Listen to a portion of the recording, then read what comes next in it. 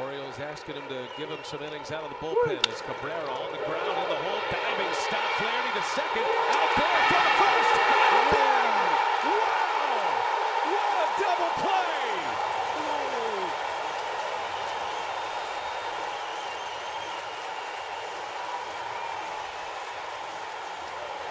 That is a tremendous double play. It had a lot to do with Cabrera not being able to run, but you think about the stop to begin with, the dive by Flaherty, full extension.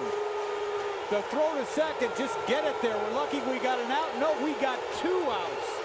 What a double play. And a- You're not going to see it better. Not a great feed to Schoop, but that gun he's got at second base was a difference too.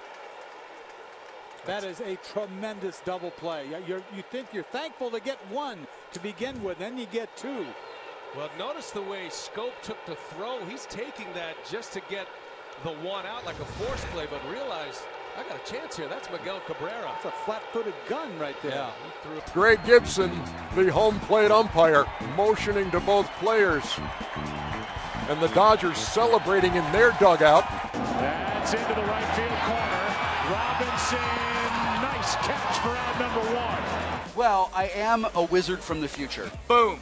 I'm a real doctor. If you had your walk-up music created, who would compose it and or sing it, and what kind of music would it be? Uh, you know what? That's a good question.